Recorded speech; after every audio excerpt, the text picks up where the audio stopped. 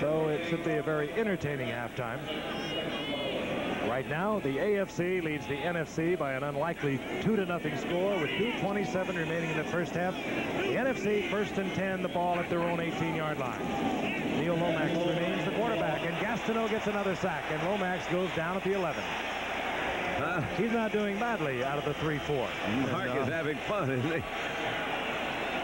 He is so quick. We, and I can't believe he said he was in bad shape. He looks in great shape to me, but you see him make that little move to the outside, and Kent Hill from the Rams just couldn't stay with him.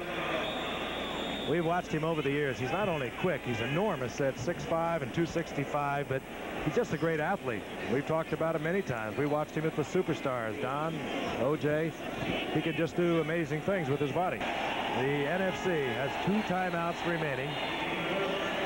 Lomax, a very heady quarterback at working the clock and using his timeouts. Art Monk splits up to the top of the screen. James Lofton is left. Oh, Lomax oh, goes down. Mark Gastineau, third sack of the ball game. Oh, he is tough. This time he came from the left side. I think that's Fahnhorst again, was it? Yeah, he came right through Randy Cross and Keith Fahnhorst. But, of course, they're the Super Bowl champs. I'm sure they've been taking it easy uh, this week. It's a little anticlimactic for them being here, but their pride will take over before this reception. Mark Gastineau with almost unstoppable pursuit of the passer. And really, Raji, uh, Raji, Reggie Roby, who's who punted the ball. You don't get to see people kick a ball like that very often either. Nobody can kick the ball like Unreal. that. Unreal. Yeah.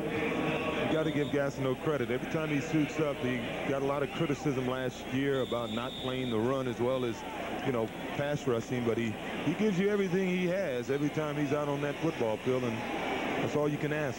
He has a brilliant long jumper, and of course, all great long jumpers carry tremendous speed with them. Second and 10. Montana looks outside.